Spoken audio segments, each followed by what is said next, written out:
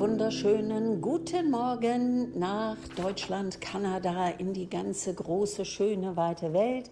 Heute ist der 28. Juni 2023. Wir sind schon wieder in der Mitte der Woche angekommen. Die Zeit rast, die Themen überschlagen sich. Und wir alle mittendrin, ihr Lieben, wir leben in einer der interessantesten Zeiten, die diese Erde je gesehen hat. Und ganz stark und fest an unserer Seite Andreas Popp. Good morning. Guten Morgen. Ja, es ist tatsächlich so, eine solche atemberaubende Zeit hat es wirklich noch nicht gegeben. Es ist eigentlich eine Superlative, die man nicht anwendet, aber in diesem Fall stimmt es. Denn so etwas Unglaubliches, was wir gerade erleben dürfen, müssen, sollen, das ist schon wirklich heftig. Aber kommen wir zum Wetter.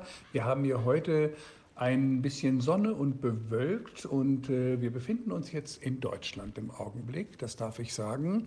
Und ähm, es äh, sieht ein bisschen nach Regen auch aus, aber es wird ein bisschen gemischt bleiben. Und in Kanada kann ich es jetzt nicht sagen. Ich hatte letztes Mal gesagt, es soll Regen geben, dann habe ich aber telefoniert und die haben gesagt, wir haben strahlenden Sonnenschein. Da traue ich mich nicht ran. Ich denke, da gehen wir wieder nächste Woche ran mit frischer Kraft, wenn wir dann vielleicht irgendwann wieder da sein werden und du das Wetter wieder ein ganz kleines bisschen zurecht frisieren wirst. Ich frisiere nicht. Das Wetter ist nun einmal wunderbar und schön, egal wo ich bin. Ja, aber es ist natürlich überall eine Affenhitze. Es ist ganz schwer und darum wird es heute auch wieder mal gehen. Aber jetzt fangen wir erst mal an mit Thüringen. Also ihr wisst, ihr Lieben, der Landrat von Sonneberg ist gewählt worden und der kommt von der AfD. Und das das gefällt so vielen Leuten gleich überhaupt ganz gar nicht. Und das hat offenbar aus deren Sicht nichts mit Demokratie zu tun, sondern müsste aus ihrer Sicht brandgefährlich sein. Auch das Signal, das für die ganze Welt jetzt hier oder in die Welt ausgeht. Und die junge Freiheit, die fragt, ob diese Wahl eventuell rückgängig gemacht werden könnte. Andreas, da fällt mir ein, in Thüringen werden öfter Wahlen rückgängig gemacht. Ne? Ja, die sind da ja für bekannt und äh, man wundert sich immer wieder und wir haben einen neuen Tiefspunkt erreicht auf der nach unten, unten offenen Richterskala der Erbärmlichkeit von Massenmedien. Ich glaube, den Punkt haben wir heute wieder unterschritten. Man mag es kaum glauben, vor allem nach dem Schiffbruch, den die Massenmedien und vor allem auch die öffentlich-rechtlichen Medien erleben, dass sich alle mehr oder weniger abwenden, teilweise sogar angewidert, wie man mir uns das immer wieder sagt, weil sie einfach sagen, sie wollen den Unsinn einfach nicht mehr hören, weil alle diese ganzen Propagandashows einfach schwer auszuhalten sind. Ob das irgendwelche mRNA-Spritzen waren oder ob das jetzt irgendwelche Hitzetoten sind, die plötzlich die Straßen pflastern. Man fragt sich, da müssten sich ja in Arabien und in Afrika die Leichen ja jeden Sommer bis in den Himmel reinstarten. Was macht man da eigentlich mit denen? Das sind ja alles doch gewaltige Dinge, die wir jetzt hier gerade erleben. Aber wir werden sehen. Und insofern passt diese Thüringen-Wahl natürlich wieder sehr gut dazu. Aufruhr und eine solche, ein solches Eigenherunterreißen der Maske einer vermeintlichen Demokratie. Und das ist jetzt die Maske der Demokratie, die runtergerissen wird. Und darunter verbirgt sich ein wirklicher diktatorischer Ansatz, den man jetzt sehen kann, wo die Maske unten ist. Frei nach dem Motto, es sinkt für Sie das Niveau. Folgende Meldung also von der jungen Freiheit. Das Thüringer Innenministerium hat eine Gesinnungsprüfung des neu gewählten Landrats von Sonneberg, Robert Sesselmann von der AfD, angekündigt. Dies, so sagte Innenstaatssekretärin Katharina Schenk von der SPD gegenüber dpa, dies sei von Amts wegen passiert. Das dafür zuständige Landesverwaltungsamt teilte auf Anfrage der Jungen Freiheit mit, dass derzeit zwar noch keine Prüfung laufe, die Amtszeit des Landtags beginnt jeweils am Tag nach der Annahme der Wahl. Erst dann kann eine Prüfung erfolgen, sagt eine Sprecherin der Behörde. Und die Feststellung des Wahlergebnisses soll morgen in Sonneberg stattfinden. Und danach hat Herr Sesselmann von der AfD eine Woche Zeit, seiner Wahl zu widersprechen. Tut er das nicht, beginnt die Amtszeit offiziell und dann kann die Prüfung beginnen. Ja, und ich frage mich wirklich hier, wie dieses Theater noch zu kommentieren ist. Es wird schwierig langsam. Denn ähm, diese Frage nach der tatsächlichen Erkenntnis und Anerkennung der Demokratie muss definitiv gestellt werden. Diese zum Beispiel Personen, die man gerne in der AfD anklagt, das sind ja eigentlich Leute, die nicht in irgendwelchen Ämtern sind, sondern in einer Parteifunktion. Das ist der Unterschied zum Beispiel zu Claudia Roth, die hohe politische Ämter schon in sich hatte, die hinter, der, hinter dem Banner hergerannt ist, Deutschland, du mieses Stück Scheiße.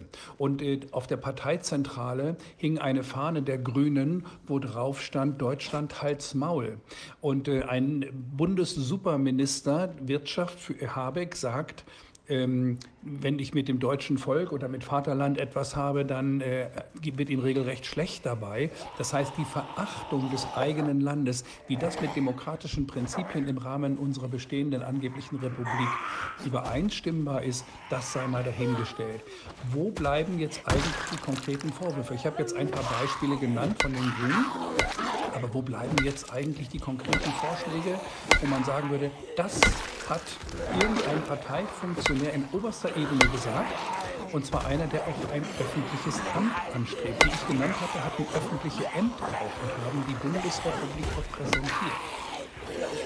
Frau Roth, Claudia Roth, ist ja auch stellvertretende Bundestagspräsidentin und ähm, sehe die Programmbemühungen der Grünen, die also sagen, wir müssen der ganzen Welt vorangehen und unseren Klimabestrebungen und den Maßnahmen, wie wir die Leute dahin prügeln. Also so sagen sie es wörtlich nicht, aber so fühlt es sich an. Und ähm, wenn es dann heißt auf der anderen Seite Deutschland als Maul, was Frau Roth damals wohl auch aufgehängt hat. Andreas, dann frage ich mich, haben Sie ein gespaltenes Verhältnis zum Land oder wie ordnen Sie sich an? Sie wollen ja auf der einen Seite mit allen Dingen vorangehen und zeigen, wie Deutschland als Vorbild agiert und auf der anderen Seite haben Sie eine sehr geringe Meinung.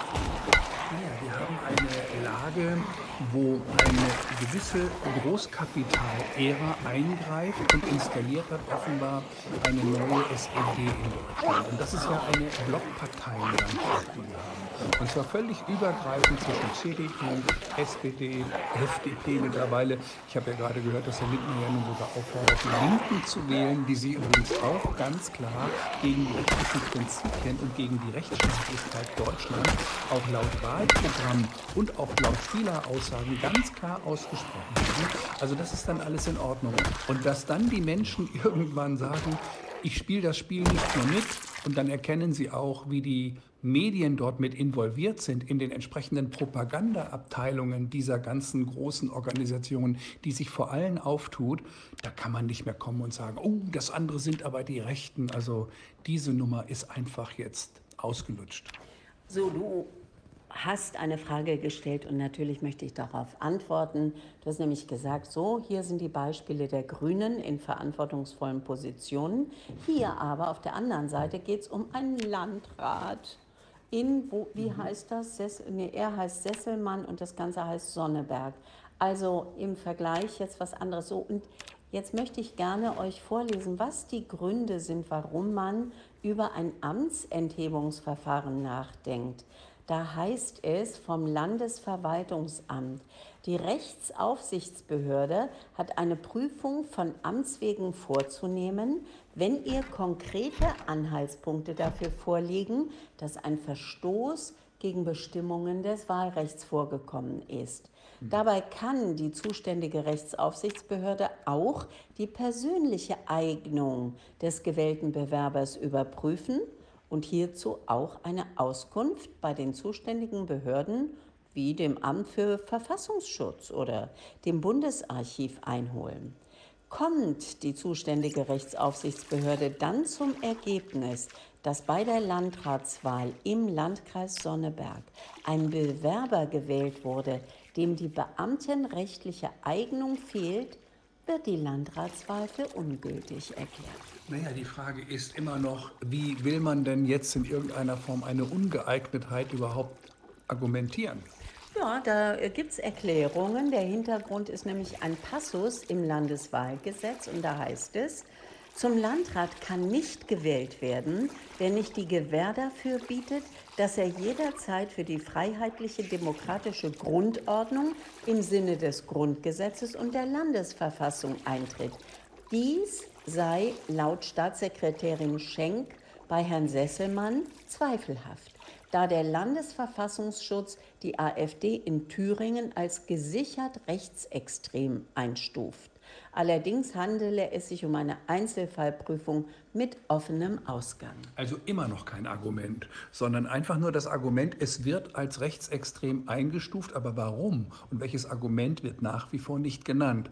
Ich könnte allerdings eine Menge Beispiele nennen für den Verstoß gegen das Grundgesetz und die Unterdrückung der Menschen im Rahmen der Corona-Politik. Von nahezu allen Ministerpräsidenten, das ist eine ganz andere Liga als ein Landrat, die ganz klar den Leuten befohlen haben, äh, sich in ihren Häusern zurückzuziehen und die Polizei mehr oder weniger wirklich Streife gefahren ist und hat Leute verhaftet, die gegen diese Rechte oder gegen diese Auflagen verstoßen haben. Man wurde gezwungen, Masken zu tragen, die nichts bringen und all diese Dinge. Das ist alles amtlich. Es ist alles ganz deutlich und es ging so weit, dass man bestimmte Berufsgruppen mit einer Impfpflicht versehen hat und gleichzeitig eine Hetz- und Jagd begonnen hat gegen Menschen, die sich kritisch gegenüber diese diktatorische Politik gesetzt haben, die nämlich sagen, das verstößt gegen das Grundgesetz, nämlich die Verletzbarkeit der Menschenwürde und auch die Verletzbarkeit natürlich des Körpers.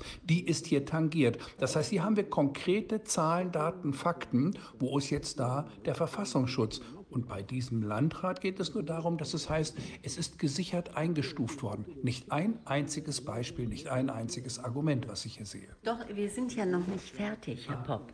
Denn zum Beispiel Thüringens Innenminister Georg Mayer von der SPD, der hatte in der Vergangenheit keinen Hehl aus seiner Meinung gemacht, dass er Beamte, die Mitglied der AfD sind, am liebsten aus dem Dienst entlassen würde. Und als Landrat wäre Sesselmann Wahlbeamter im Freistaat Thüringen. Und übrigens auch der Präsident des Thüringer Landesverfassungsschutzes, Stefan Kramer, macht aus seiner Abneigung für AfD-Mitglieder kein Geheimnis. Diese sind für ihn in Thüringen alle rechtsextrem. Alle, alle, alle.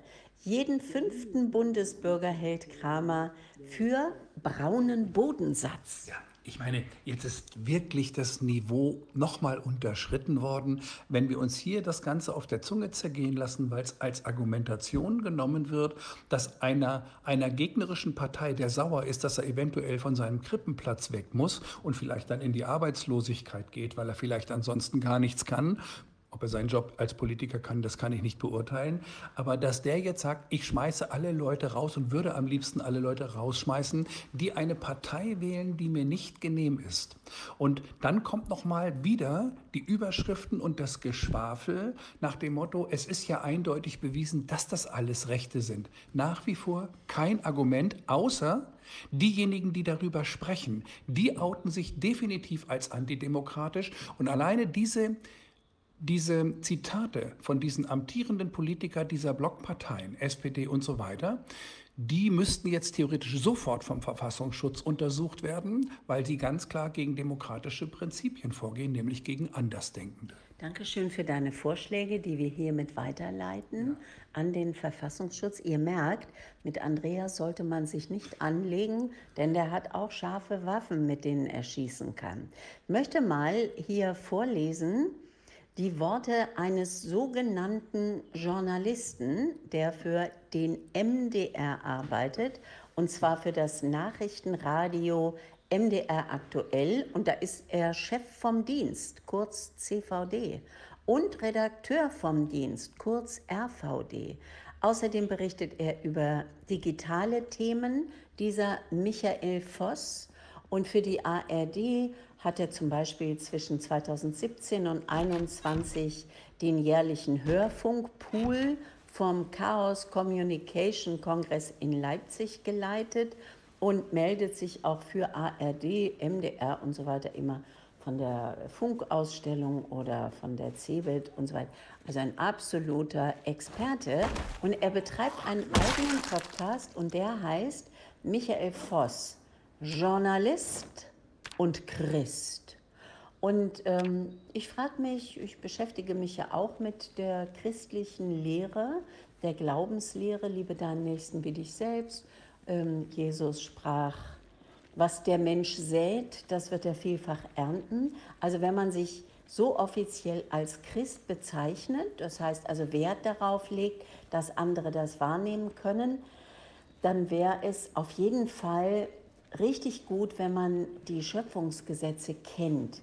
Äh, Michael Voss hatte in der Vergangenheit beispielsweise, das war am 11. August 2021, während der Mikrobenkrise, etwas äh, gesagt oder gemeldet bei Twitter unter anderem, auch bei seinem Podcast.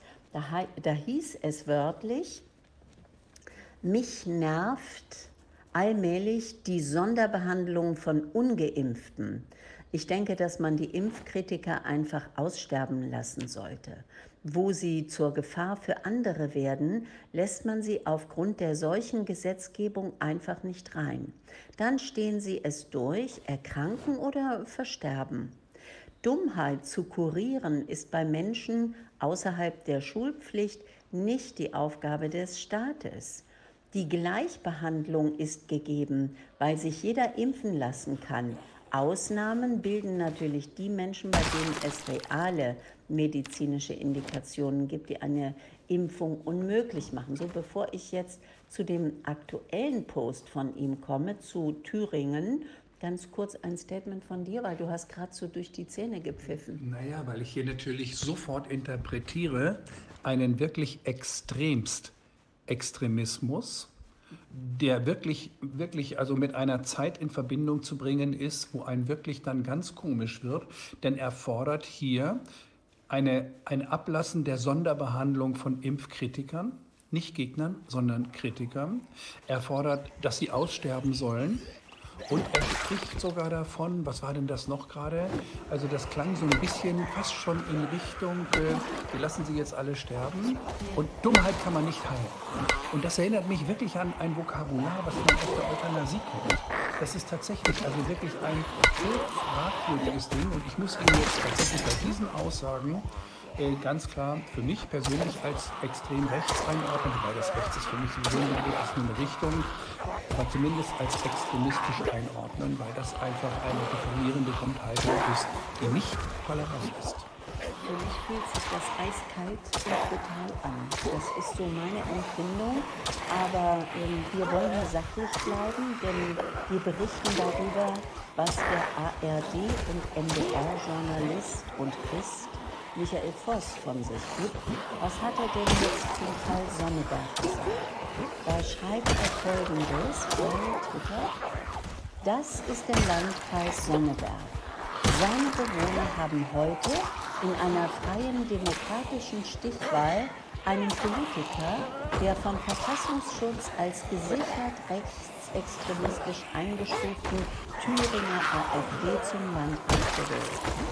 Macht mit, schützt die Demokratie und boykottiert den Landkreis Sonneberg im Tourismus, in der Wirtschaft und auf allen Ebenen. Es darf später nicht wieder heißen, man habe es nicht gewusst. Und das ist eine virtuelle Banderole auf jedem großen Geschäft und auf jedem kleinen Händler, der dort in Sonnenberg lebt und drauf steht, kauft nicht bei Sonnenberg. Und äh, da, Sonneberger kauft nicht bei Sonneberger. Okay, das wusste ich nicht. Aber das ist doch wirklich nochmal eine Bestätigung dessen, was ich vorher schon rein interpretiert habe. Extremistischer, diffamierender, rassistischer gibt es eigentlich nicht. Also es ist jetzt auch so, dass 20 Prozent die AfD wählen würden. Die AfD ist so stark wie nie zuvor in Sachsen-Anhalt, das ist übrigens auch eine Meldung von der Jungen Freiheit, entwickelt sich ein Zweikampf zwischen der abstürzenden CDU und der AfD. Und ähm, man könnte mal die Zahlen sich genauer anschauen. Alle anderen Parteien, heißt es hier, sind laut neuer Umfrage einstellig. Und das zur Mitte der Legislaturperiode. Also das heißt, Auch in Sachsen-Anhalt hat sich die politische Stimmung komplett gedreht.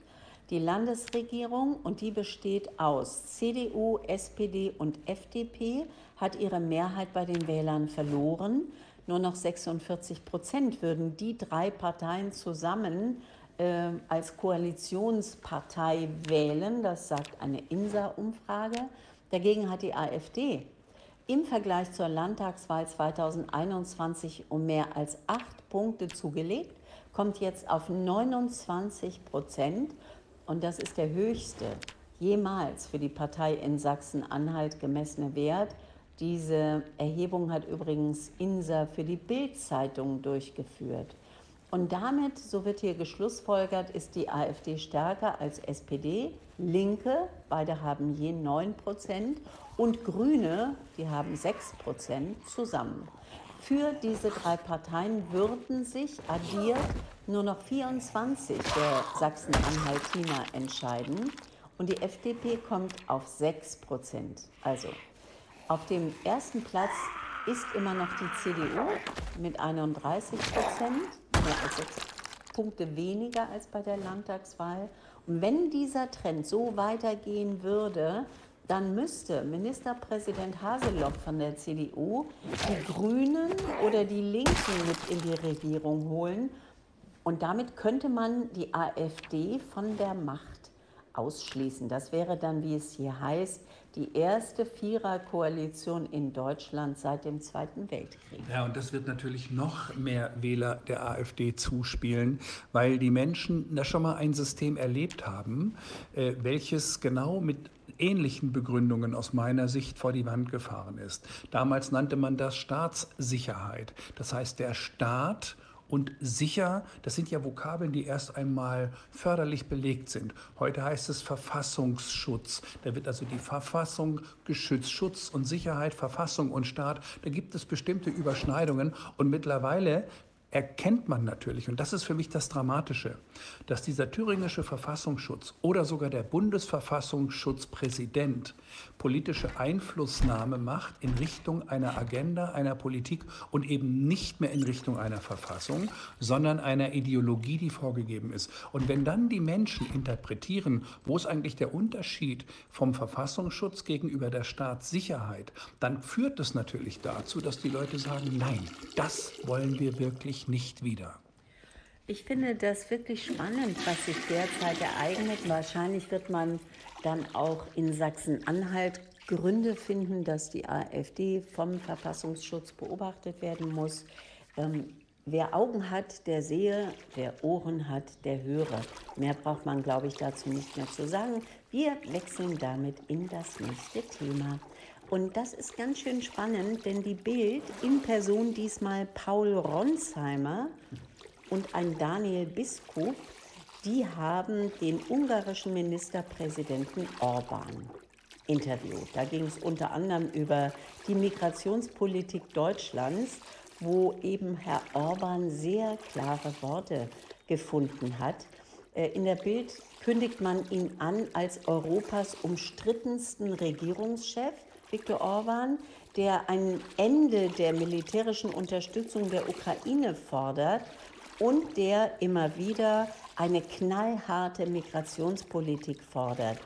Und ähm, man hat ihn gefragt, ob er Europa abriegeln will und überhaupt. Also Viktor Orban hat, als es um die aktuelle Situation Europas ging, Folgendes geantwortet. Er sagt, die Situation ist, dass die Migration mehr und mehr zu einer historischen Herausforderung wird. Und wir Europäer sind nicht in der Lage, die richtige Antwort zu finden. Intellektuell und planerisch ist die Antwort sehr einfach, aber politisch gesehen sind wir nicht in der Lage, sie zu geben. Die Antwort ist also ganz klar. Wenn jemand das Gebiet der Europäischen Union betreten möchte, müssen wir zuerst ein Verfahren haben. Und diejenigen, die kommen möchten, müssen draußen warten. Sie müssen also physisch auf die Entscheidung der Mitgliedstaaten warten, ob sie überhaupt ins Land kommen können oder nicht. Wenn die Entscheidung getroffen ist und die Antwort Ja lautet, kann man einreisen. Wenn die Antwort Nein lautet, kann man nicht einreisen. Und er sagt, leider sind wir Europäer nicht in der Lage, das zu schaffen. Und es sei schwer zu verstehen, weil verschiedene Länder unterschiedliche Vorstellungen von Migration haben. Und dann sagt er, wahrscheinlich mögt ihr Deutschen die Migration. Ihr seid stolz darauf, ein Land von Neuankömmlingen zu werden. Das ist eure Entscheidung. In Ungarn haben wir eine andere Meinung dazu. Wir denken, es ist zu riskant und deshalb lehnen wir Migration ab, besonders die illegale. Und wir machen eine klare Unterscheidung zu Gastarbeitern. Wir haben eine Regelung für Gastarbeiter und eine andere für Migranten. Sie machen diesen Unterschied nicht mit Blick auf Deutschland, weil ihre Einstellung zur Migration hm, positiv ist. Unsere Haltung ist vorsichtiger. Ja, und ich kann wirklich nur jedem empfehlen, dieses Video in Ruhe wirklich anzusehen und auch wirklich mal wirken zu lassen. Für mich war das sehr beeindruckend, weil ein aus, mich, aus meiner Sicht abgerichtet wirkender Journalist, der versuchte, diesen großen Herrn Orban in eine Sackgasse reinzubringen. Und der stand dort oder saß dort mit einer so unglaublichen Überlegenheit, blieb immer klar bei Verstand, während der Journalist mehr oder weniger in eine Richtung Stammelung langsam überging und irgendwann dann nur noch brachte der nach dem Motto, oh, oh, aber da gibt es ja die ganzen, es ging ja auch um die Kriegsverbrechen und so weiter.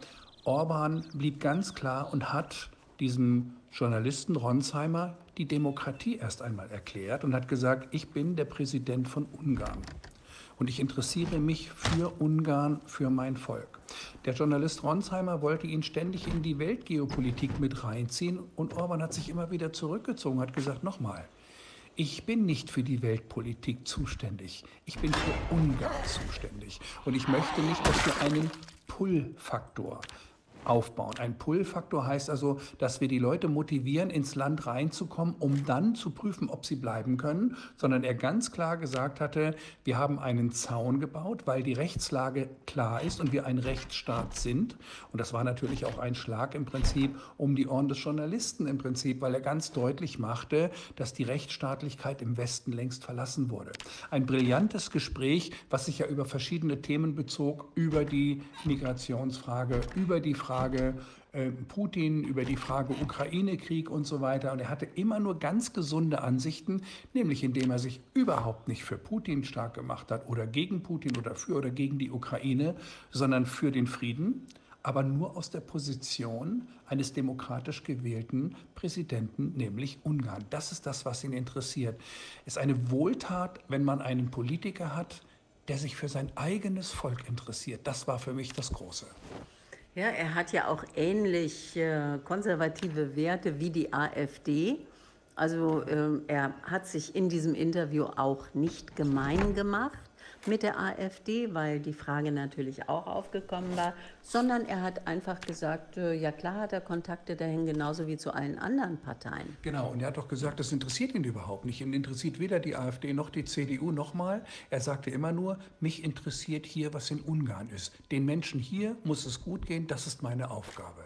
Wichtig vielleicht auch nochmal ähm, diese Aussage von ihm, denn das ist ja ein Kernthema, was mit der Massenmigration nach Deutschland immer häufiger leider diskutiert werden muss. Er sagt, ich verstehe, dass wir zum Beispiel in der Migration große Diskussionen haben und Sie die ungarische Position schwächen wollen. Aber ich muss da sehr deutlich sein. Ich sage immer, Leute, okay, wir sind uns nicht einig über Migration, denn wir Ungarn sind der Meinung, dass es einige Werte gibt, die in Ungarn geschützt werden müssen. Man kann sie als europäische Werte bezeichnen, wie zum Beispiel die Gleichbehandlung von Frauen, keine Homophobie, kein Antisemitismus. Und nun schauen Sie sich die Migrationsgruppen an, die kommen. Diese Migrationsgruppen halten diese Art von Werten nicht hoch. Warum sollten wir Ungarn das Risiko eingehen, Gemeinschaften zu haben, die unsere wichtigsten europäischen Werte nicht respektieren? Deswegen lehnen wir sie ab. Sie tun das nicht.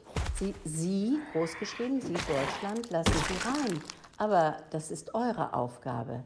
Zwingen Sie mich nicht, denselben Fehler zu begehen und dieselbe Entscheidung zu treffen, die ich auf Ihrer Seite für einen Fehler halte. Ja, das war der Schlag ins Gesicht, auch in diesem Fall gegen Deutschland. Er sagte, ihr Deutschen seid doch das Land der Ingenieure, der Techniker, derjenigen, die alles strukturieren können. Und in der Europäischen Union haben wir sogar eine Deutsche an der absoluten Spitze. Und das war ein Hinweis auf Frau von der Leyen. Und jetzt seht euch mal dieses Chaos an, was da in Gang gebracht wurde. Mit Sanktionen, mit all diesen Dingen wie dieser Migrationspolitik. Wo bleibt denn da die Planung, die Koordination und die Ingenieurskunst, wenn nichts, aber auch gar nichts richtig funktioniert? Das ist jetzt meine freie Übersetzung dessen, was er zwischen den Zeilen gesagt hatte. Ja, ich habe gesehen, du hast wirklich das ganze Interview angeschaut. Vielleicht noch ein Wort zur AfD, die bei 20 Prozent liegt, wozu auch Herr Orban befragt wurde. Er sagt, Europa lebt unter sehr schwierigen Bedingungen. Ist es, die Europäische Union würde, wurde für zwei Dinge geschaffen. Erstens für den Frieden. Und jetzt befinden wir uns in einem Krieg. Das zweite war der Wohlstand. Und in der Wirtschaft wird es immer mühsamer und schwieriger, den Wettbewerb aufrechtzuerhalten und den Menschen Wohlstand zu bieten. Ich verstehe also, dass die sogenannten Protestparteien aufkommen. Ich spreche nicht von Deutschland, ich spreche allgemein von Europa. Ich darf also wirklich dazu nur sagen, ich halte ihn für einen sehr intelligenten Mann, der aus meiner Sicht persönlich gesehen intelligenteste der Staatsführer der einzelnen Mitglieder der EU oder auch Europas, der nämlich ganz klar sich überhaupt nicht übermannen lässt von irgendwelchen Trends oder Lifestyles, die momentan gerade laufen, sondern er seinem ethischen und moralischen Kompass treu bleibt. Und das ist auch das, was, dies, was das Volk von ihm will und auch erwartet offenbar, nämlich eine kalkulierbare Führung. Und die bietet er einfach. Wer mal in Budapest war, auch in der heutigen Zeit, und verbringt dort jetzt mal im Sommer einen Abend in einem wunderbaren Restaurant, wir beide haben es getan. Und ähm, wenn man dann dort ist beispielsweise und erlebt diese Friedfertigkeit, diese Entspannung und diese überhaupt nicht depressive Stimmung oder so etwas, wie man das, ich weiß gar nicht, wie man das besser bezeichnen soll. Also das ist schon beeindruckend. Man hat das Gefühl, man ist um 40 Jahre zurückversetzt und äh, das soll nicht heißen, dass dort alles in Ordnung ist. Es geht einfach nur darum, dass hier ein Präsident offenbar steht mit seiner Regierung, der sich für die Zukunft seiner eigenen Menschen interessiert. Und so wurde aus dem Putin-Versteher auch noch ein Orban-Versteher. Nicht wahr, Herr Popp? Ja, ich versuche Sie alle. Ich versuche auch ein Biden-Versteher zu sein. Denn wenn ich Sie nicht verstehen würde, könnte ich überhaupt nichts über Sie sagen. Das ist ja mein Ziel. Bist du auch ein Eva-Versteher? Eva-Versteher bin ich natürlich aus voller Leidenschaft. Echt jetzt? Natürlich können diese Augen lügen. Oh, okay, ihr seht die Augen nicht. Wir machen weiter, ihr Lieben. Also, nächstes Thema. Und das ist ein spannendes Thema, weil man jetzt so wahnsinnig viel mal gerade wieder nicht in den Hofberichtmedien dazu hört. Äh, ja, okay, die ARD hatte gesagt und gemeldet, dass die offiziellen Verhandlungen über die Ukraine im Juli beginnen könnten. Tatsächlich. Man fragt sich, welche Verhandlungen denn? Wer redet denn von Verhandlungen? Hieß doch immer, es gibt keine Verhandlungen. Aber laut ARD hat in Kopenhagen unter strengster Geheimhaltung ein internationales Treffen zur Ukraine stattgefunden. Und das meldet Thomas Röper. Und an diesem, also Antispiegel. Und an diesem geheimen internationalen Treffen sollen Diplomaten aus westlichen Ländern, aber auch Vertreter Brasiliens, Indiens, Chinas und Südafrikas teilgenommen haben. Und jetzt hat also die ARD am Beginn der Woche unter Berufung auf Quellen behauptet, dass jetzt im Juli, also das wäre ja in wenigen Tagen, beginnt ja der Juli, die offiziellen Gespräche über wörtlich die Beilegung des Ukraine-Konflikts stattfinden könnten. Bevor wir weitermachen, Andreas, erst einmal, ich kann mich erinnern, dass vor einigen wenigen Wochen Sarah Wagenknecht und Alice Schwarzer in die Öffentlichkeit getreten sind mit Unterstützung vieler zigtausender Menschen und Friedensverhandlungen gefordert haben. Und da hieß es vehement von allen westlichen Quellen, was das für zwei Hexen wären, so ungefähr. Ich mache es mal sinngemäß. Die sind also beide echt auf den Scheiterhaufen medial gestellt worden. Äh, und jetzt kommt so ganz by the way, wie selbstverständlich. Was passiert denn da gerade? Naja, wir sehen erstmal, dass Alice Schwarzer und auch Frau Wagenknecht ihrer Zeit damit weit voraus waren und natürlich das Richtige gefordert haben. Dafür sind sie natürlich medial hingerichtet worden. Du weißt ja, wie sich das anfühlt. Wir kennen das viele, Ulrike Görow und so weiter. Jeder, der, der was Falsches sagt zum falschen Zeitpunkt das, oder das Richtige sagt zum falschen Zeitpunkt, so ist es richtig, ähm, der wird dann eben halt mehr oder weniger durch die, durch die Hecke gezogen. Das ist das Hauptproblem, was wir haben.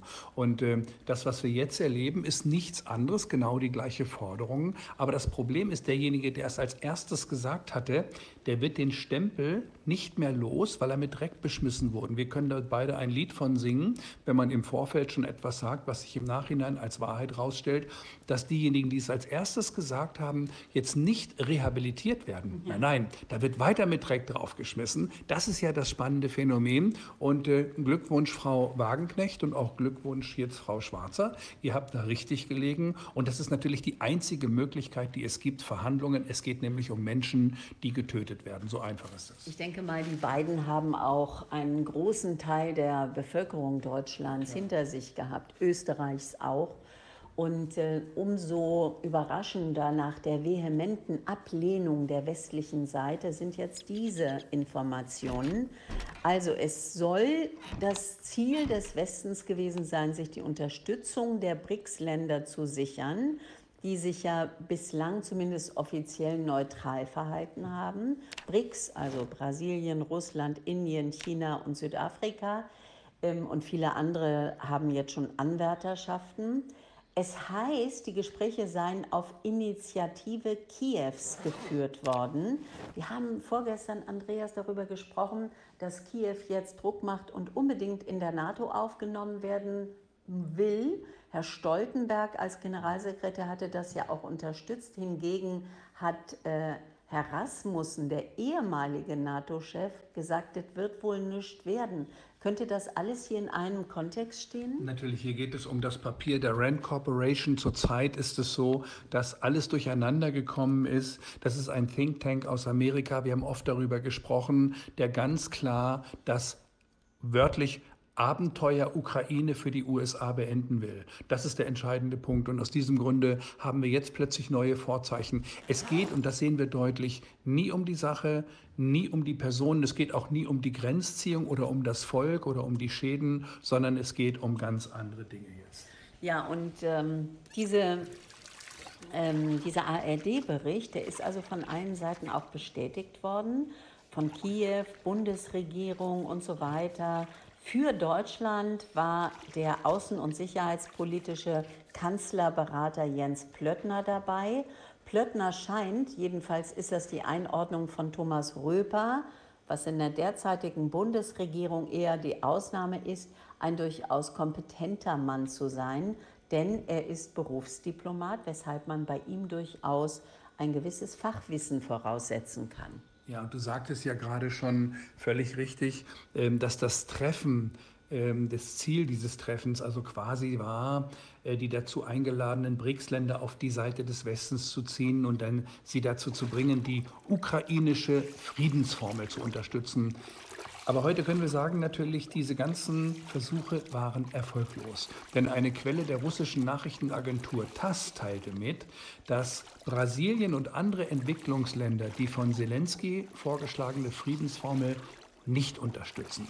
Also während des Treffens sprachen sich die Entwicklungsländer ja auch einschließlich Brasilien dafür aus, dass die russische Seite in die weiteren Verhandlungen einbezogen wird. Also ohne die Russen macht man nichts, wie auch, es ist ja nun mal die beteiligte Hauptpartei.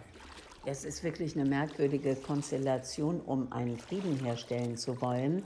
Thomas Röper ordnet das folgendermaßen ein. Er sagt, der Versuch der Ukraine, die BRICS auf ihre Seite zu ziehen und Russland die Kiewer Bedingungen zu diktieren, ist also offensichtlich gescheitert, wenn die nicht westlichen Länder eine Einbeziehung Russlands in die weiteren Gespräche fordern. Übrigens haben auch die USA ihre Teilnahme an dem Treffen bestätigt. Das war John Kirby, der Sprecher des Nationalen Sicherheitsrates im Weißen Haus.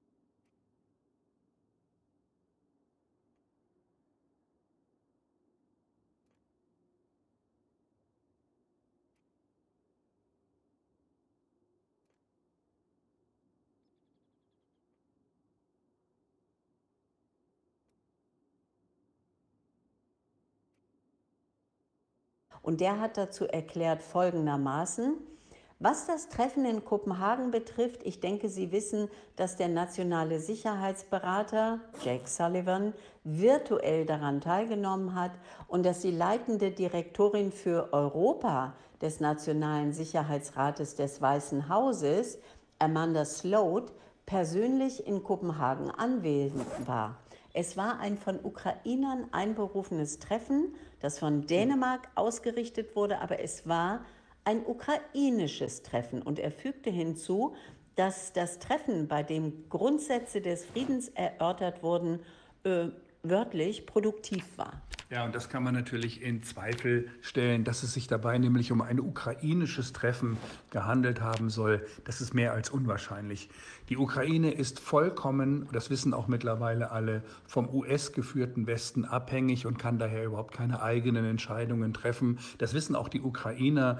Ähm, wir haben selbst Kontakte zu ukrainischen Bürgern dort. Man muss schon reichlich naiv sein, wenn man das Narrativ des Westens glauben will. Und das beschreibt Röper hier ganz klar dass die Ukraine selbst entscheidet, wann und zu welchen Bedingungen sie mit Friedensgesprächen beginnt. Auch das muss man noch mal klarstellen und das macht Röper hier auch ganz deutlich. Schließlich hat der Westen in der Ukraine ja auch bereits 200 Milliarden Dollar an Geld und Waffen versenkt. Dafür will der Westen natürlich auch das letzte Wort in allen Fragen haben. Oder glaubt jemand ernsthaft, dass der Westen es akzeptieren würde, wenn Kiew jetzt sagen würde, danke, das war's, wir machen jetzt Frieden, sorry für die Unannehmlichkeiten und danke für all die Waffen und das Geld, war nett mit euch. Ja, das ist ein Röper-Zitat, das äh, hat er vollkommen recht. Und es kommt ja auch hinzu, was er hier noch erwähnt, dass Zelensky letztes Jahr Ende September jedwede Verhandlungen mit Russland unter Strafe gestellt hatte.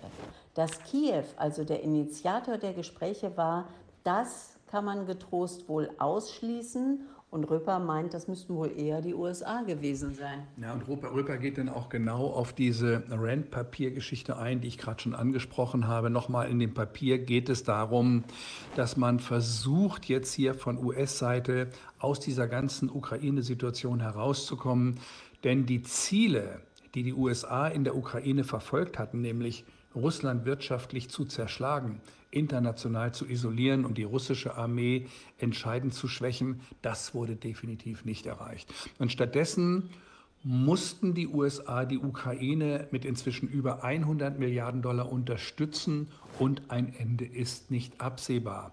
Während die USA in dem Konflikt also nichts zu gewinnen haben, denn, und das sagt die Rand Corporation, dieser US-amerikanische Think Tanks, wo die Grenzen der Ukraine verlaufen, ist für die USA unwichtig und die ungeheuren Kosten, die sie dafür ausgeben, schlicht nicht wert. Also das Geheimtreffen, das am Wochenende in Kopenhagen stattgefunden hat, ist in den Augen von Röper ein weiterer Beleg dafür, dass die US-Regierung die Ideen aus dem Rand-Papier umsetzt und diesen Ausweg aus diesem Ukraine-Abenteuer sucht. Und wir hatten in unserem letzten Podcast auch darüber gesprochen und fast ähnlich die Sachen bewertet. Ja, und weiter heißt es noch, dass laut der ARD, wie gerade vorher schon erwähnt, diese Friedensgespräche im nächsten Monat, im Juli stattfinden. Wir haben heute den 28. Juni, also schon bald beginnen könnten. Und wenn das stimmen sollte, da sagt Röper, dann werden wir bald erfahren, was die USA bereit sind, Russland dafür zu bieten, die Kampfhandlungen einzustellen. Und er erinnert sich daran, dass eine dauerhaft neutrale und demilitarisierte Ukraine, die die Rechte ihrer ethnischen Minderheiten achtet und die Verehrung von Nazi-Kriegsverbrechern des Zweiten Weltkriegs beendet, die wichtigsten Forderungen Russlands sind. Wenn die USA nicht mindestens das anböten, dann dürfe Moskau kaum zu Gesprächen bereit sein.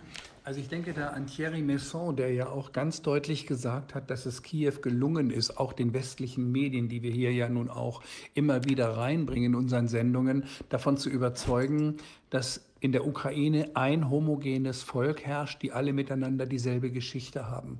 Und so ist es eben halt nicht, sonst wird es ja diese Auseinandersetzung lange bevor die Russen eingegriffen haben im Februar 2022 nicht schon gelaufen sein, über quasi ein Jahrzehnt davor. Also die Umsetzung dieser russischen Forderung im Rahmen eines Friedensvertrages würde natürlich faktisch bedeuten, dass die Regierung Kiews nämlich Teile der Ukraine abtreten müsste und natürlich auch ähm, die, die, die, wie große Insel? Krim und die Krim quasi natürlich auch entsprechend. Denn ohne diesen Schritt ist eine Entspannung in der Ukraine nicht denkbar, weil sie eben halt doch sehr russisch orientiert sind, die dort lebenden Menschen. Aber ob die USA dazu bereit sind, das erfahren wir dann wahrscheinlich im Juli. Wir dürfen nicht vergessen, bei all diesen Dingen, dass es mal ein Minsker Abkommen gab. Und dieses Abkommen ein wesentlicher Grund auch für die erweiterten Kriegshandlungen der Ukraine im Februar 22 überhaupt waren. Leider werden in diesem ganzen Theater, in diesem ganzen, was hier läuft, medial, zu selten Zusammenhänge über die historischen und auch geopolitischen Hintergründe diskutiert, ohne die man diesen ganzen Konflikt überhaupt nicht verstehen kann. Es sind nur Überschriften. Das ist ein großes Problem. Und ich halte hier der Medienlandschaft, halte hier die Medienlandschaft für völlig unverantwortlich bei ihren Veröffentlichungen, die eher mich an Nebelbänke oder an wahrheitsverschleiernde Maßnahmen äh, erinnern und überhaupt nicht objektiv sind auch auf der Ostseite. Aber darum geht es ja gar nicht. Ich sehe hier auch die europäische Medienlandschaft, vor allem die öffentlich-rechtlichen Medien, als mitverantwortlich. Letztendlich auch für die vielen Toten, die täglich dazukommen. Das muss man ganz deutlich sagen, indem man kein Interesse an der Wahrheit hat, sondern mehr oder weniger seine Daten rausspult, die man rauszuspulen hat. In einer seriösen Presse hat aus meiner Sicht Propaganda einfach nichts zu suchen und das ist das große Problem, was ich sehe.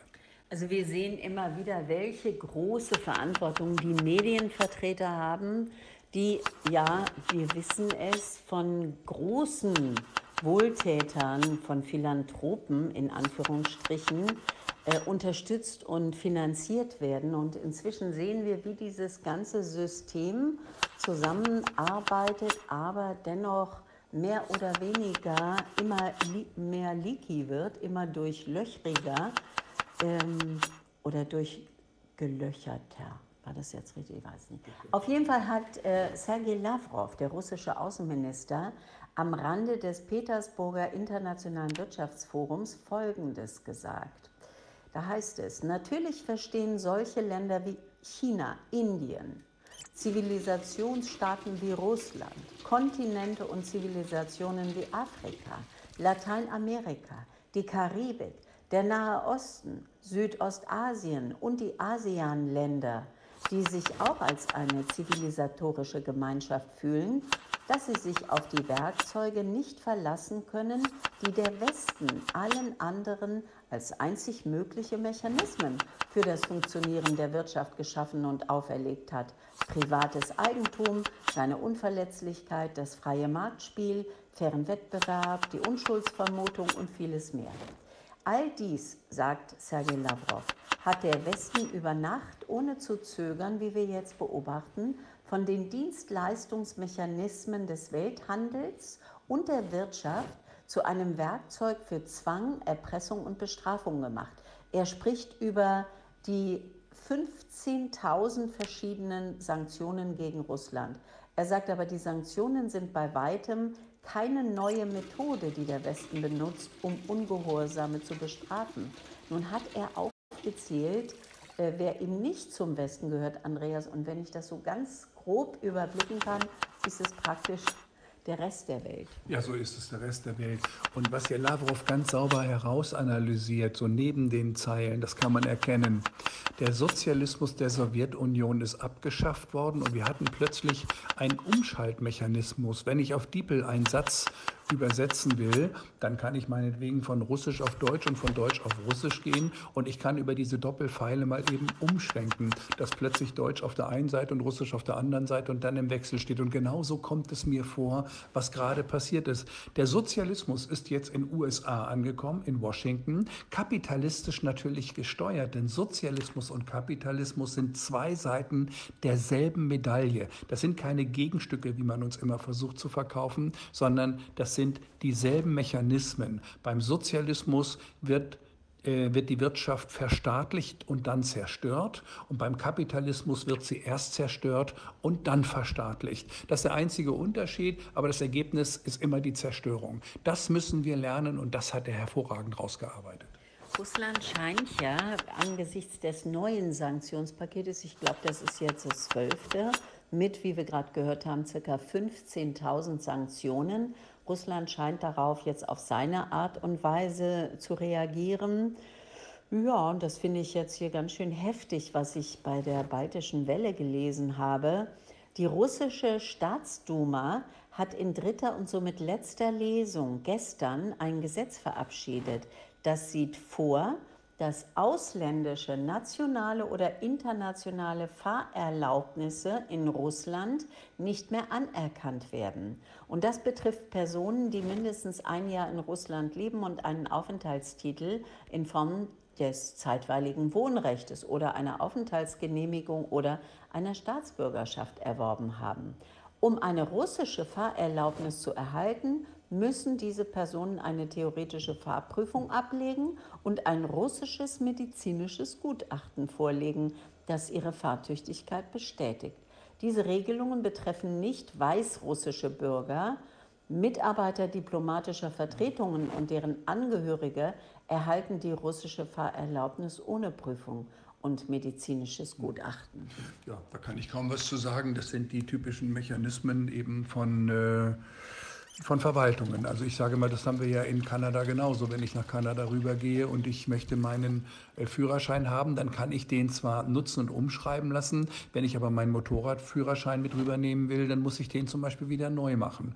Aber das ist aus meiner Sicht mehr ein verwaltungstechnisches Ding, hat natürlich ein gewisses Signal, an dem man sagt nach dem Motto, also wir lassen nicht alles mit uns machen, so wie, ihr mit, wie wir das mit euch jetzt auch machen könnten. Also was ich damit sagen will ist, man sieht zum Beispiel, dass man im Westen die großen russischen Vermögen eingefroren hat, enteignet hat. Und das war ja der größte Schaden, den sich der Westen je machen konnte. Und deshalb sind die ganzen Sanktionen auch nach hinten losgegangen. Und man könnte fast davon ausgehen, wenn man es nicht besser wüsste, dass der Kreml hinter der Politik in USA steht. Denn mehr kann man die Russland gar nicht stärken und den Gegner des Westens damit schwächen. Das ist ja das Paradoxon, in dem wir uns befinden. Ja, also ich danke. Wir äh, werden jetzt diesen Russland-Ukraine-Block mal abschließen, Andreas, und kommen zu äh, des deutschen Lieblingsthema. Wir kommen zum Auto. Nun hat sich natürlich in der letzten Zeit ziemlich viel verändert, was die Autos angeht. Ich denke daran, wir waren neulich bei einem Interview, bei einer Aufzeichnung, ähm, sind wir ein bisschen weitergefahren und äh, da ist einer der Producer, mit einem ganz schicken, großen, das sah sehr schick aus, ich habe es aber gar nicht äh, gesehen, welche Marke das war. VW auf jeden Fall, ne? Aber so ein Riesending und das, da war ein E-Nummernschild. Und da hast du eine sehr interessante Diskussion geführt. Naja, ich habe mit ihm gesprochen, mit dem Moderator, und er hat dann einen VW, ich fand den gar nicht so schick, und er sagte auch, der wäre ziemlich primitiv verarbeitet, dafür, dass er 65.000 Euro kostet. Und ich habe dann nur gesagt, I, I, i8 VW, i8 oder so ähnlich heißt das Ding, keine Ahnung. Auf jeden Fall so ein bisschen SUV anmutend. Und ich habe gesagt, na, bist du denn zufrieden? Na, sagte er, ich habe das Ding deshalb genommen, weil er ganz billig war. Der Wagen kostet 65.000 Euro. Ich bekomme einen Vertrag mit 160 Euro im Monat, einen Leasingvertrag, habe 20.000 Kilometer im Jahr frei äh, und kann ihn und braucht nichts anzahlen dabei. Und ich habe gesagt, na prima, und bist du denn zufrieden? Und er sagte, hör auf, eine einzige Katastrophe. Ich wiederhole, was er sagte. Ich sage, wieso? Wie viel Reichweite hat er denn? Na, er sagte, mit der Reichweite, das ist alles gar nicht das Problem. Die Reichweite soll bei 400 Kilometern liegen, aber man soll diese Batterie nicht über 80 Prozent aufladen. Und wenn er auf 20 Prozent runter ist, diese Batterie, sollte man sie wieder aufladen. Du kannst also 40 40 Prozent davon abziehen. Das heißt, du hast eigentlich nur 240 Kilometer Reichweite mit dem Ding. Allerdings darf dann keine Heizung oder Klimaanlage an sein. Und er hat uns dann erzählt, wie das denn so ist, wenn er dann beispielsweise zu seinem Arbeitsplatz fährt über die Autobahn. Das sind anderthalb Stunden. Und wenn er dann anschließend, weil das Ding fast leer ist, dann zwei Stunden an die an eine Schnellladebox muss, um dann die anderthalb Stunden wieder zurückzufahren, ja, wo das Auto dann zu Hause wieder leer ist. Also es war für ihn eine Katastrophe und er sagt, das war das Letzte, auch was er sich jemals an E-Auto wieder kaufen würde. Und dann habe ich ja gestern auch gesehen, dass wir gelesen haben, dass auch VW jetzt sogar diese Produktion runterfährt. Ne? Ja, sehr gute Übergangsmoderation. Genau da wollte ich jetzt auch drauf hinkommen. Denn ähm, VW Emden, die haben da wohl eine sehr große E-Auto-Produktionsstätte, die müssen einen Gang zurückschalten. Der Betriebsrat hat sich geäußert und man drosselt wohl äh, vorübergehend die Produktion dieser E-Autos, denn Hintergrund ist der absolut schwächelnde Absatz. Mit anderen Worten, die Leute wollen keine E-Autos kaufen. Vielleicht sind die Erfahrungen, die du gerade hier geschildert hast, schon ein bisschen weiter verbreitet. Wir können nicht so richtig mitreden, weil wir in Kanada noch nicht wirklich umgeben sind von diesen E-Autos. Ich glaube, da äh, ordnet man das sowieso alles ein bisschen anders ein. Alleine angesichts A der Kälte im Winter, also es kann ja dann ganz schön kalte, äh, ach nee, wir haben ja Hitzeprobleme. Okay, das nehme ich jetzt wieder zurück und eben äh, der weiten Distanzen. Also für mich ist es einfach interessant gewesen, weil wir über die Autobahnen gefahren sind und man sieht dann ja auch so ein bisschen diese Freude am Fahren bei den Autobahnen, dass man auf der linken Seite auch mal ein bisschen zackiger fährt. Und dann sieht man auf der rechten Seite oft diese Fahrzeuge, man sieht an dem Kennzeichen hinten das kleine E. Ich wusste gar nicht, dass es das gibt, dass man da auch noch eine Kennzeichnung für bekommt. Und dann sieht man teilweise wirklich schmucke Autos, das sind hübsche Autos, die haben tolle Formen und so weiter, sehen auch sehr schnell aus. Und die fahren dann da so mit 80, 90, 100 hinter irgendeinem Bier-LKW hinterher im Windschatten. Und wenn man denn die Augen der Fahrer beobachtet, hat man das Gefühl, die sind starr gebannt auf die, auf die Batterieladeanzeige in ihrem Fahrzeug. Also Freude am Fahren macht es da irgendwie nicht, hatte ich so das Gefühl. Das war aber nur mein Eindruck und es ist natürlich nicht repräsentativ. Ja, ich frage mich vor allem, wo guckst du eigentlich hin, wenn du Auto fährst? Guckst du da in die Autos der anderen und versuchst ihre Miene zu studieren? Und das auf der Autobahn, das würde ich mal als grobe Fahrlässigkeit, was die Sicherheit des Verkehrs angeht, bezeichnen. Ja, du hast recht, aber das war im Rahmen einer Recherche. Und wenn ich das kleine E auf dem Kennzeichen sehe, da bin ich ja richtig in die Bremsen gegangen, weil wir mit unserem kleinen Verbrennerfahrzeug, den wir hier haben, übrigens auch von Volkswagen, übrigens ein Diesel, ähm, wir dann quasi wirklich langsamer gefahren sind, um einmal rüber zu gucken, wie glücklich die Fahrer aussehen. Also es war schon ein interessantes Phänomen. Es geht hier in Emden wohl auch wirklich um die großen Kisten, denn in den kommenden beiden Wochen bis zu den Werksferien, dann ist sowieso erstmal Schicht im Schacht, werde die Spätschicht bei der Fertigung des Kompakt-SUV ID.4 und bei den ersten Modellen der neuen Elektrolimousine ID.7 gestrichen. Das hat Betriebsratschef Manfred Wulff auf Anfrage der deutschen Presseagentur bestätigt. Hingegen die Verbrenner, die werden normal weiter produziert und die Belegschaft äh, ist schon informiert worden Anfang der Woche, während die Produktion eben von den Verbrennermodellen, wie gerade gesagt, zum Beispiel Passat oder so, unverändert weiterläuft, sollen eben die Werksferien jetzt für die Beschäftigten auch noch mal um eine Woche verlängert werden. Zudem sollen rund 300 der aktuell 1500 Leiharbeiter in Emden ab August überhaupt nicht mehr weiter beschäftigt werden. Und hier wird es auch erläutert, die Verunsicherung bei Kunden sei groß. Das sagt der Betriebsratschef, Herr Wulff.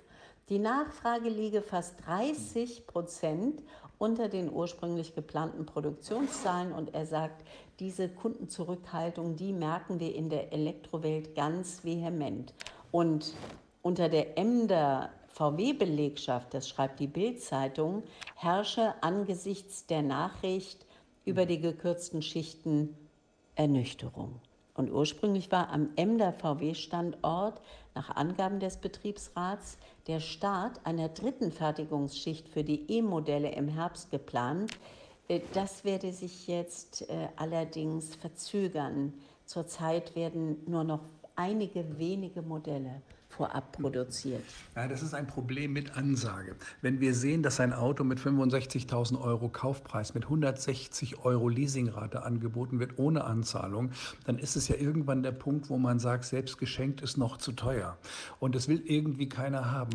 Denn die Verbrennungsfahrzeuge, wo also die Nachfrage exorbitant steigt, die sind natürlich überhaupt nicht in irgendeiner Form staatlich gefördert und natürlich um ein Vielfaches teurer. Aber die Leute wollen ein zuverlässiges Auto, zumindest wenn sie auf lange Strecken fahren. Ich muss sagen, ich habe in Großstädten gesehen, so kleine Smart-Dinger mit E-Dinger, die finde ich also wirklich gut mit Elektromotoren. Das sind so eine Art, ich sag mal, Gehhilfe für zwei Personen und äh, die kann man dann zu Hause an so einen Stecker ransetzen und da kann man mal mit zum Einkaufen rüber rauschen, so wie ein Autoscooter. Das finde ich gar nicht mal so ganz verkehrt grundsätzlich, aber sie als vollwertige Autos zu verkaufen, das habe ich hier mir angesehen, das passt irgendwie nicht, zumindest nicht in mein einfaches Weltbild.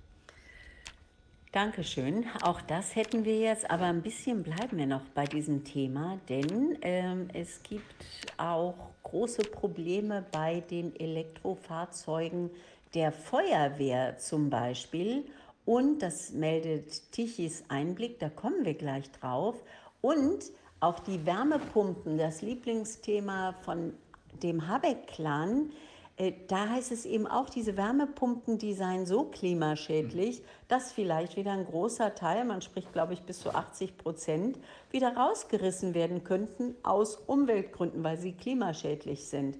Ähm, grünes Deutschland, das besser werden soll. Also es heißt hier, Öl- und Gasheizungen schädigen das Klima, deswegen sollen sie durch klimaschonende Wärmepumpen ersetzt werden. Das ist eben das Narrativ, das bei Habeck zugrunde liegt. Aber jetzt gibt es richtig äh, Krach, auch intern. Die Welt, die wird hier zitiert, Demnach ist es eher so, dass, wie gesagt, bis zu 80 Prozent wieder rausgerissen werden könnten. Jörg Dietrich, Präsident des Zentralverbands des deutschen Handwerks, der hat gegenüber der Zeitung der Welt erklärt, dass derzeit an der Realität vorbei regiert werde. Andreas, Hintergrund? Wie sehen die aus? Also es fängt schon an, wenn du gerade überschreibst mit der Geschichte, Öl- und Gasheizungen schädigen das Klima. Das ist dieselbe Argumentation wie eben Verbrennungsautoren, Autos, Verbrennungsautos, dass die ähm, auch klimaschädlich sind. Und wir wissen, dass eben diese elektrischen äh, Narrative, die wir gerade bekommen haben, nicht nur umweltschädlich, sondern auch klimaschädlich sind. Es ist einfach so nicht richtig, wenn man diese Dinge vorweg sagt. Das ist so mal der, die, die Entschuldigung im Vorfeld, warum es überhaupt ein bisschen un, unrund läuft. Also was ist der Hintergrund? Hintergrund ist eine Verordnung, die die Europäische Union derzeit ausarbeitet. Und das Ziel ist, dass das Verbot von fluorierten Gasen bis 2030 eben halt greift. Und dies würde das Aus für zahlreiche bis dahin eingebaute Wärmepumpen und schlimmstenfalls sogar deren Ausbau und Ersatz durch andere Anlagen bedeuten. Also man hat da so ein Ding eingebaut äh, und das ist ein Problem. Und für rund 80 Prozent der jetzt schon eingebauten Pumpen werden F-Gase genutzt, also die, die bis 2030 nicht mehr genutzt werden dürfen. Das ist unfassbar. Und diese Gase gelten als klimaschädliche Treibhausgase. Also nochmal, derjenige, der sich eine solche Wärmepumpe eingebaut hat, hat sich also eine klimaschädliche Anlage eingebaut. Unfassbar. Und klimafreundliche Wärmepumpen dagegen benutzen Propangas. Doch eine simple Auswechslung von F-Gasen durch Propangas ist gar nicht möglich. Denn zusätzlich ist nämlich Propan brennbar und auch explosiv und damit ist natürlich nicht gewährleistet, ob eine umgebaute Wärmepumpe am selben Platz stehen könnte. Wenn so ein Ding mal hochfliegt und brennt, dann ist es ja ganz gut, wenn das Haus dabei nicht in Mitleidenschaft gezogen wird. Also eine Anfrage an die Bundesregierung sei nur ungenügend beantwortet worden, nämlich, dass man die Entwicklung beobachte. So die Kollegen von Tichys Einblick. Und äh, jetzt kommen wir zu diesen Feuerwehrautos, die hier auch in diesem Artikel mitbehandelt werden und äh, Tücken aufweisen, wenn sie ähm, ja, E-Autos sind. Die Berliner Feuerwehr wollte sich ja an die Speerspitze der Klimabewegung stellen.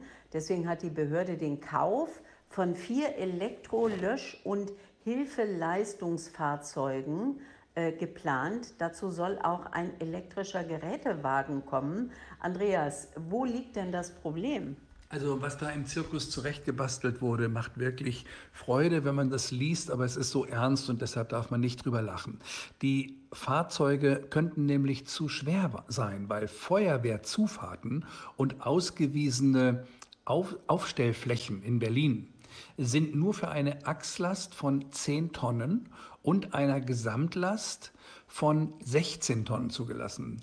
Also während ein normales Fahrzeug dieser, dieser Feuerlöschfahrzeuge rund 9 Tonnen Leergewicht wiegt, sind es bei diesen elektrischen schon 12,79 Tonnen. Das heißt, es kann dann nur noch 3,21 Tonnen zuladen und die Zuladung ist bei einem Feuerwehrfahrzeug wichtig. Dazu gehört nämlich der Wassertank, dazu gehören Schaummittel und auch ein Dieseltank. Und der ist nötig, um einen Dieselmotor anzutreiben, der den Speicher auflädt, um einen dauerhaften Betrieb überhaupt zu gewährleisten. Zwar beharrt die Feuerwehrführung darauf, das schreibt Tichy, was ich hier gerade sage, dass das Fahrzeug nicht mehr als 15,8 Tonnen wiege. Getestet hat das bisher jedoch noch niemand, denn diese elektrischen Löschfahrzeuge sind bisher auf keine Waage gefahren. Hat man einfach noch nicht gemacht. Aber wichtig ist, dass man sie schon mal hat. Die Vermutung, dass das Ding schwerer ist als 16 Tonnen, das ist relativ, klar und auch völlig logisch, sagt ein Feuerwehrmann. Und da gibt es die Firma Rosenbauer International und die gibt auf der Website an, dass diese elektrischen Löschfahrzeuge ein zulässiges Gesamtgewicht von 18 Tonnen besitzen, also quasi gar nicht mehr einsatzfähig sind aufgrund des zu hohen Gewichtes. Ist immer noch nicht alles, denn äh, wie es hier heißt von Rosenbauer, das äh, berichtet auch die Berliner Zeitung, ähm, da geht es um die Anschaffung einer vollelektrischen Drehleiter. Braucht ja die Feuerwehr nun mal. Der Modellreihe RT, das hat nichts mit äh, Russia Today zu tun, sondern mit Re Revolutionary Technology. Und dieses Fahrzeug hätte ein deutlich höheres Gewicht. Dieses Fahrzeug wiegt 18 Tonnen, schreibt das Blatt, wie du es auch gerade schon gesagt hast.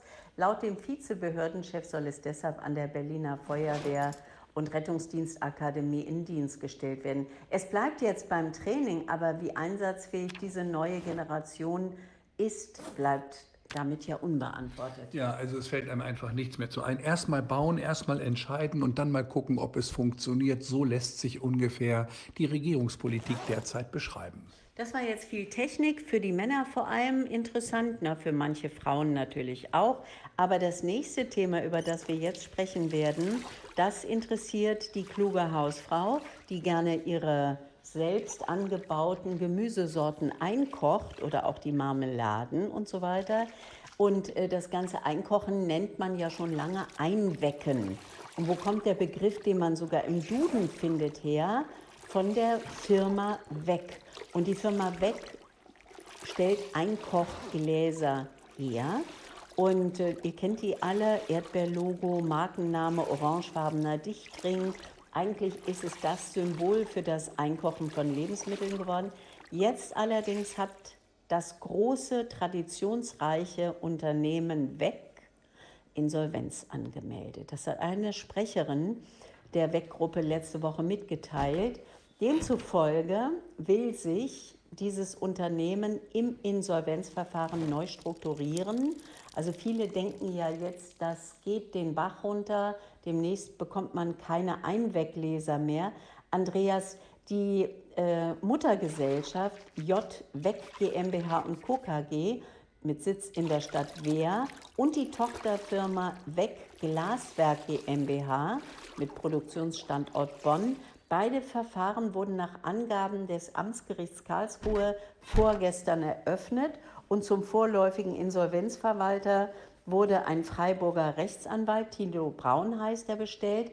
Was ist denn jetzt eigentlich, weil wir lesen ja oft, hm, Schuhketten, Görz, Kai, alle sollen pleite sein, äh, beziehungsweise insolvent. Kannst du uns mal erläutern, was ist eigentlich der Unterschied? Ist man, wenn man insolvent ist, schon gleich pleite? Naja, so gut wie. Also man ist auf jeden Fall in einer ernsten Problematik, aber das Unternehmen wird noch nicht abgewickelt. Insolvenz ist eine Überschrift, die gab es früher gar nicht. Früher kannte man den guten alten Begriff Pleite oder Bankrott. Wer bankrott war, der musste zum Amtsrichter und er hat dann letztendlich Konkurs angemeldet. So war das. Man hat bankrott gemacht. Und der Unterschied ist heute, dass wir eine Vorstufe haben, die nennen wir insolvent, dass man versucht, über ein bestimmtes Verfahren eventuell einen Bankrott zu vermeiden. Es gibt verschiedene Stufen der Zahlungsprobleme, die man hat. Einmal, man kann einfach nur in Klammern faktisch überschuldet sein. Eine Überschuldung bedeutet, solange man seine Rechnung noch bezahlen kann, merkt es eigentlich gar keiner. Also Banken zum Beispiel sind aus meiner Sicht nahezu alle überschuldet und auch insolvent, weil sie zum Beispiel Anleihen gekauft haben mit Kursen und sie sind zu falschen Kursen bewertet worden in den Bilanzen. Und das andere wäre dann eben halt eine reine Zahlungsunfähigkeit. Das heißt, die Konten sind leer, es kommen keine Umsätze mehr rein und man muss dann reagieren. Und der Insolvenzverwalter, der versucht dann im Interesse auch der Gläubiger, die glauben als Geldgeber, dass sie ihr Geld wieder zurückbekommen, deshalb heißt es ja Gläubiger, dass man dann eventuell entweder das Unternehmen schlachtet und damit den Gläubigern noch eine gewisse Quote an Ansprüchen zuführt oder eben halt das Unternehmen über eine, über eine Vergleichssituation eventuell sogar retten kann. Auf jeden Fall eine ernstzunehmende Situation. Ja, sehr schade. Wir kommen auch gleich zu den Gründen. Eigentlich ahnt ihr sie schon. Ich möchte aber kurz noch was zu den Mitarbeitern sagen. Ähm, Verwaltung, Vertrieb, Verlagsgeschäft der Gruppe das ist in Südbaden ange, angesiedelt und dort arbeiten 115 Menschen. Und dann gibt es das Glaswerk in Bonn, da arbeiten 260 Mitarbeiter.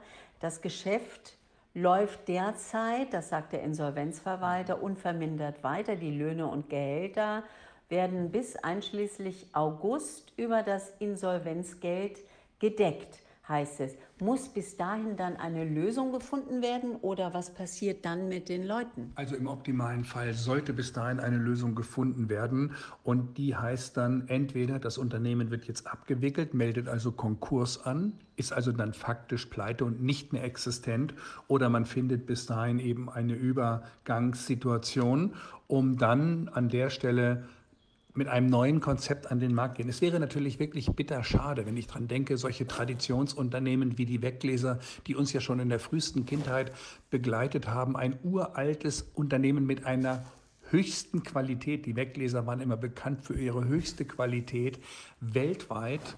Und wir haben uns die Weggläser sogar noch nach Kanada schicken lassen. Das finde ich auch interessant. Original von Weg haben wir uns sie schicken lassen, einfach weil wir so begeistert sind von dieser Qualität. Und es ist tragisch. Aber so ist es nun einmal, wenn wir eine unfähige Wirtschaftspolitik haben, die dann auch letztendlich zu einer falschen Fiskalpolitik zu einer falschen Geldmengenpolitik in Verbindung mit EZB und all diesen Dingen, die da eine Rolle spielen haben, dann müssen wir einfach damit rechnen, dass Unternehmen das auf Dauer nicht durchstehen und regelrecht politisch motiviert ruiniert werden. Es war doch klar, wir haben darüber gesprochen, als die Gaskrise losging, als Nord Stream gesprengt wurde, als Russland nicht mehr als Energielieferant für Europa, vor allem auch für Deutschland in Frage kam, und die Energiepreise in die Höhe knallten, vor allem seit Deutschland das teure Flüssiggas aus den USA bezieht, dass das natürlich zu einer Deindustrialisierung führen muss. Wir haben viele Beiträge darüber veröffentlicht. Äh, inzwischen warnt man nicht mehr, sondern stellt nur noch fest, auch ganz offiziell, die offiziellen Leistungsträger und ja, das Unternehmen hat einfach ein Problem mit den hohen Energiepreisen gehabt. Übrigens, zuletzt wird hier auch angeführt eine niedrigere Nachfrage, was ich schwer verstehen kann, denn gerade in Krisenzeiten besinnen sich ja viele Menschen wieder dazu, ihr Gemüse selber anzubauen und zu verarbeiten, zu dörren, zu trocknen, also aber auch einzukochen. Und es heißt hier ähm, von Seiten des Geschäftsführers, Eberhard Hackelsberger. Aufgrund der Preissteigerung des Energieträgers Gas kam es in den letzten Monaten zu erheblichen Belastungen.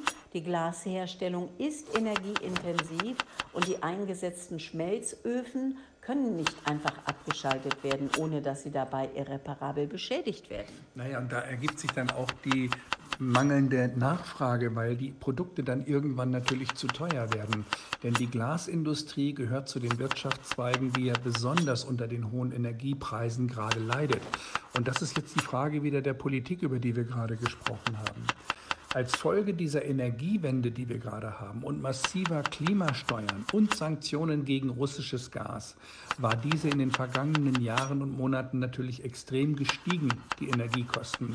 Außerdem sind die Verbraucher natürlich auch wegen der hohen Inflation äh, zurückhaltender bei ihren Kaufentscheidungen. Entscheidend ist eines dabei, wenn wir sehen, dass die Kohlekraftwerke produziert werden in China und die natürlich auch diese Gläser machen, die man zum Einwecken nutzen kann. Also aus dem Begriff Wegglas ist auch der Begriff des Einweckens entstanden. Ist auch interessant, wie tief das ist, wie mit dem Tempotaschentuch. Das sind also Firmen, die eine gesamte Branche bezeichnen. Aber die können natürlich wesentlich billiger dann anbieten. Das heißt, wir haben hier eine Politik der Energie, die auch gleichzeitig dafür sorgt, nicht, dass die Glasbranche kaputt geht, sondern dass die deutsche Glasbranche kaputt geht. Ja, und wenn man sich mal die Traditionskette anschaut, also der derzeitige Chef von Beck, Hackelsberger, der führt das Unternehmen in vierter Generation.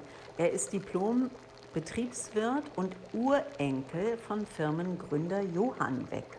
Und zusammen mit seinem Geschäftspartner und Nachfolger Georg von Eyck hob dieser, also Johann Beck, Anfang 1900, das schreiben die deutschen Wirtschaftsnachrichten, diesen Einmachglashersteller aus der Taufe. Und wenig später wurde das Unternehmen schon an Kochschulen tätig und hat Kochkurse gegeben, Einkochkurse. Und diese Gläser, ja, das ist so wirklich made in Germany. Das ist der Markenartikel auch für Hausfrauen. Und Andreas, wie geht es denn mit diesem Traditionsunternehmen jetzt weiter? Kann man da schon was sagen?